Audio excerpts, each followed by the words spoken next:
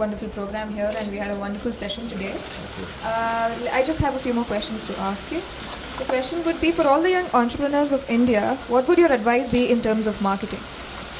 So, the first thing I'll say is something they're not going to like is it is easy to build a business on someone else's money.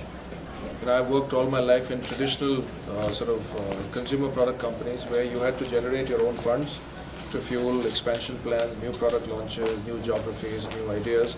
Um, but more power to you because on the flip side, all the startup ventures are providing employment to millions of people in this country and therefore you're helping the government in its efforts, generating trade and commerce, easing uh, consumer pain points, uh, finding solutions for uh, human problems, so that's fantastic.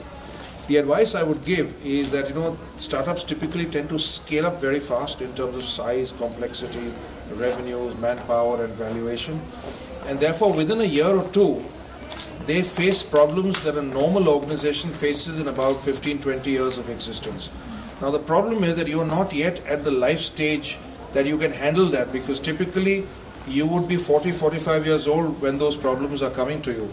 But you're 25, 30 years old. So you don't have the life skills required to handle that business situation. So hire people like us to consult with you or hire thought leaders, hire mentors, advisors, consultants from people uh, and people from organizations who have handled that life stage and have handled that complexity. Otherwise, carry on doing what you're doing. Thank you. Name the one X factor which has taken United Breweries to a next level. I think uh, there is not one X factor. Uh, there are several X factors. We have the largest manufacturing footprint, mm-hmm. 31 breweries across the country, the strongest distribution network. You know, we have 80,000 outlets where we distribute our products um, with third generation distributors. Uh, so long-standing uh, and really strong trade relationships um, then I would say powerful brands that have been built up over several decades, uh, sharply focused marketing programs. But if I were to think of one single X factor, it will probably be execution. I think no one executes better than United Breweries does. I work for PepsiCo, I work for Cadbury's, Levers, but the, the emphasis on execution, because most of me, it's a media dark industry. You know, traditional media um, outlets are not allowed for us to uh, participate in. And therefore, it's all about execution at the point of sale or point of consumption or at an event. So I think it's the best execution I've ever seen in my life is at UB. So I would say that is the X factor. Thank you. One quality which distinguishes a successful businessman from that of a struggling one. Well, I think there are several qualities, but the, the first quality I would say is humility. You need to be humble. You cannot be arrogant with your success. You cannot be arrogant with your consumers. You cannot be arrogant with your employees uh, or with regulatory authorities. Uh, so humility goes a really long way. Uh, I would say the second quality is ability and willingness to learn from your mistakes uh, and course correct as quickly as possible before further damage happens. And of course, then there are qualities like domain knowledge, functional expertise, leadership skills, soft and hard skill competency. But I would put uh, a lack of arrogance, uh, humility, and empathy right at the top to understand. Because at the end of the day, you're working with human beings.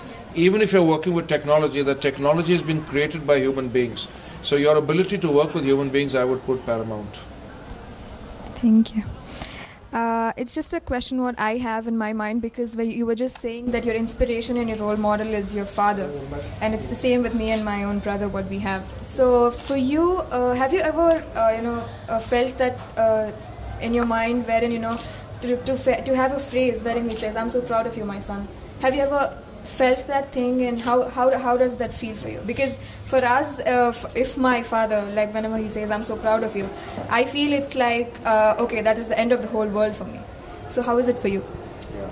I think that's a that's a great question because all of us have strong family uh, social structures that we grow up you know with uh, our parents being the earliest and perhaps the most dominant influence in our lives and when i said my father i meant more from you know, a professional point of view, I think my mother is the most amazing woman I've ever seen because no one else could live with my father for 57 years now. Um, and she's got tremendous uh, resilience. She's a Taurus, Taurian, so she's a tremendous resilience, tremendous, um, you know, she's a survivor, you know what they say. And my father's been a difficult person growing up. You know, he was young, he was handsome, he was flamboyant, he was indisciplined, he used to smoke and drink a lot, and he was, he was, uh, you know, like a movie star. So living with that, my mother had to tolerate a lot and survive with that. So having said that, I think parental approval is is a big role in our lives. And I see the way I used to crave for my father's approval, which by the way never came uh, in the initial years. And uh, you know, in, in the initial years, it was almost like everything we're doing is not good enough. But in and today he says, "Oh, well done! I'm very proud of you." So I put up this talk and stuff. He said, "Very proud of you." But he said, "I think you need a haircut." So you know, there's always that but, mm-hmm. and I know where he's coming from. It's that old school where I say, if I just say I'm really proud of you, he's not done his job. He needs to find something to correct. Yeah. Uh, but really today, I, so personally, I think his appreciation came too late in my life but it's also a function of the times that we grew up in. You know, I mean, he says he doesn't remember his father ever saying a word of appreciation to him, mm-hmm. ever. When his father felt affectionate towards him, he would give my uncle was in, my grandfather in the army, mm-hmm. give him a pair of boxing gloves, and they'd go and knock each other out. That was his way of showing aff- affection.